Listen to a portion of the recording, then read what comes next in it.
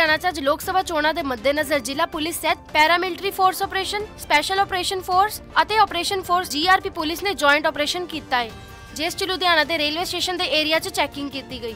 ਇਸ ਚੈਕਿੰਗ ਦੌਰਾਨ ਏਡੀਸੀਪੀ ਗੁਰਪ੍ਰੀਤ ਸਿਕੰਦ ਸਹਿਤ ਏਸੀਪੀ ਸੈਂਟਰਲ ਵਿਰਿਆਮ ਸਿੰਘ, ਲਵਪ੍ਰੀਤ ਸਿੰਘ ਗਿੱਲ ਸਮੇਤ ਸੱਤ ਥਾਣਾ ਦੇ ਐਸਐਚਓ ਮੌਜੂਦ ਸਨ।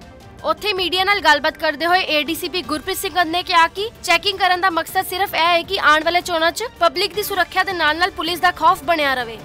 ਹਾਂ ਅੱਜ ਆਪਣੇ ਮਾਨਯੋਗ ਸਾਡੇ ਸੀਪੀ ਸਾਹਿਬ ਦੇ ਦਿਸ਼ਾ ਨਿਰਦੇਸ਼ਾਂ ਤੇ ਇਹਦੀ ਸਪੈ- ਰੇਲਵੇ ਸਟੇਸ਼ਨ ਦੀ ਸਪੈਸ਼ਲ ਚੈਕਿੰਗ ਕੀਤੀ ਗਈ।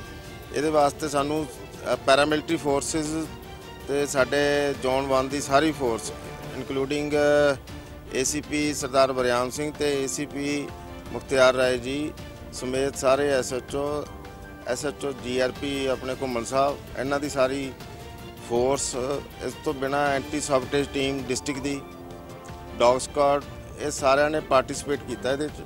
ਇਹ ਜੋ ਹੁਣ ਅਸੀਂ ਸਟਾਰਟ ਹੀ ਕੀਤੀ ਹੈ ਜਸਟ ਤੁਹਾਨੂੰ ਘੰਟੇ ਕੁ ਬਾਅਦ ਕੀ ਸਾਨੂੰ ਮਿਲਿਆ, ਕੀ ਰਿਪੋਰਟਿੰਗ ਆ ਉਹ ਸਾਰੀ ਫਿਰ ਤੁਹਾਨੂੰ ਦੱਸਾਂਗੇ।